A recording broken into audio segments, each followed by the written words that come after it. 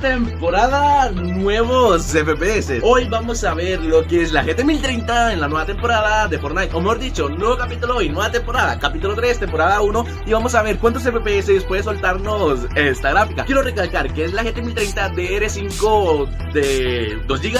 ¿Cuántos FPS nos puede otorgar esta respectiva gráfica en esta nueva temporada? Les quiero recalcar, vamos a jugar en 1080p. Vamos a tener calidad épica, calidad alta, calidad media, calidad baja. Y próximamente vamos a traer el modo rendimiento y ver cuántos FPS nos puede otorgar esta respectiva gráfica. Siendo así, vamos a ver los benchmarks que nos suelta esta misma. Iniciemos, gente. Y ya saben, regálame un fuerte like que no cae nada mal. Como lo comenté, jugaremos a 1080p con los FPS ilimitados. Empezaremos con la calidad épica. Desde que entramos al lobby vemos que los FPS son muy bajos. Realmente no era una sorpresa. Seré directo. No es para nada jugable y para nada recomendado. Muy bonito y todo, pero no recomiendo para nada jugar con poco más de 10 FPS. Haré algo que todo el mundo siempre me ha dicho. Desactivaré directamente las sombras para aumentar el rendimiento. Oigan, después de realizar esta configuración realmente aumenta considerablemente los FPS. ¿Qué puedo decir? No es lo suficiente como para decir que es recomendado para hacerlo en configuraciones épicas. Por lo menos nos sube 10 FPS más, llegando a jugar a 25 FPS que es mucho más fluido que los 10 o 15 que nos está dando antes.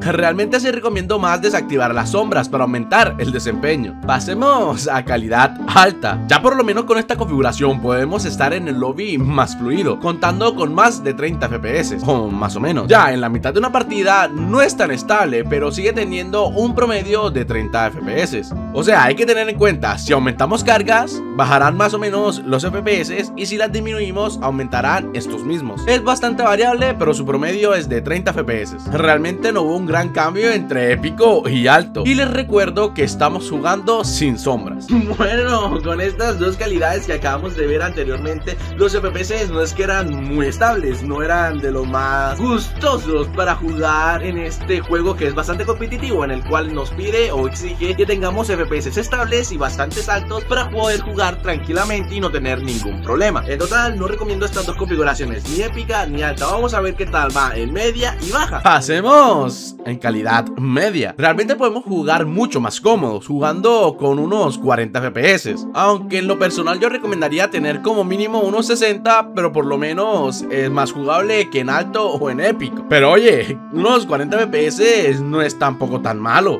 Es posible jugar bastante bien o incluso ganar alguna partida. Y lo digo porque estuve a punto de ganar una, pero realmente me encontraba bastante incómodo jugando. Y si no me crees, mira la imagen que te voy a mostrar ahora mismo en pantalla para que veas cómo me encontraba yo en estos momentos grabando y jugando a la vez. Pero en total, me encontré varios PvPs que estaban bastante reñidos, donde me encontraba con un jugador, nos quitábamos vida mutuamente, nos alejábamos, nos cubríamos, tomamos vida para recuperarnos y seguíamos con el mismo PvP. Realmente estaba bastante reñido y no se sabía quién iba a ganar. Pero por suerte fui yo el ganador. Pero por mi mala suerte llegaron otros dos jugadores a por mí. O sea, literalmente a larga distancia me estaban disparando. Claramente no podía con los dos a la vez. Entonces primero me tocó ir por uno a hacerle su PvP, claro, de una forma más estratégica, ya que tenía dos personas contra mí y eso es algo difícil. La estrategia más que nada era acercarme al enemigo, intentar quitarle la mayor vida posible, luego cubrirme para curarme porque claro, los dos me estaban disparando y cuando estuviera más cerca del enemigo o del oponente que estaba buscando, cuando me la acercaba le intentaba quitar un poquito de vida y antes de que me disparara a mí, yo tenía que cubrirme o construir algo enfrente, para cuando dispare no me pega a mí directamente, sino a la construcción. Después de eliminar a este enemigo, llegó el siguiente a por mí directamente, pero en el tiempo que justo lo maté y me cubrí, pues me dio tiempo a, a recuperarme un poquito la vida y cargar las armas. Y bueno, cuando llegó por mí, lo cogí desprevenido y lo terminé eliminando. La verdad, pienso que si puede hacer algo de este nivel, puedo haber ganado la partida sin ningún problema. O sea, principalmente lo digo porque estoy jugando a 40 FPS y además estoy algo incómodo a la hora de jugar un PvP, ya se puede dar cuenta. Además, realmente no terminé ganando esta partida por tres razones. Primero, me quedé sin balas a la final de la ronda. Segundo, me quedé sin curaciones para recuperar lo que me llegaron a disparar. Tercero, me cogieron desprevenido, o sea, literal me dispararon desde muy lejos y bueno, pues ahí me mataron. Pero igualmente me fui con 5 kills bien ganados. Pasemos a calidad baja.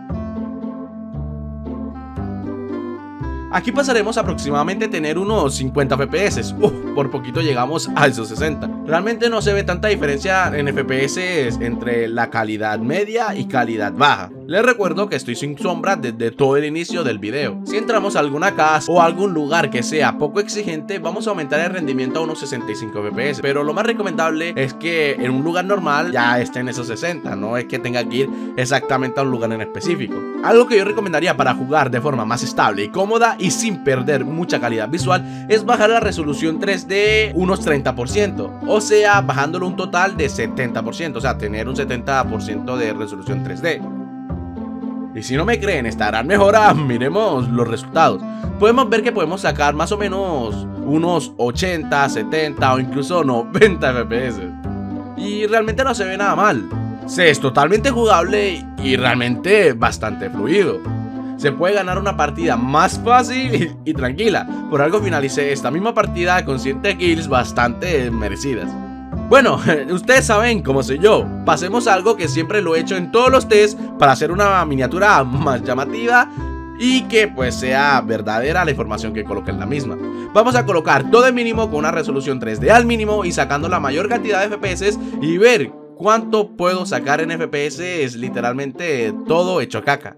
La verdad, en este test sí le costó sacar muchos FPS, porque en test pasado sacaba prácticamente el 300 sin ningún problema. A duras penas, una que otras veces tocaba los 200 y su máximo fue 213.